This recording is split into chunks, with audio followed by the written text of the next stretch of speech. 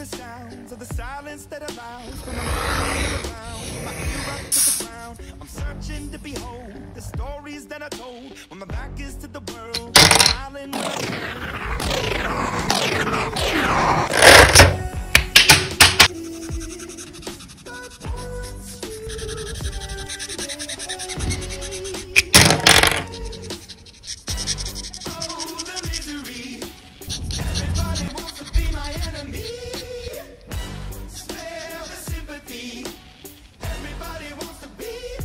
my enemy.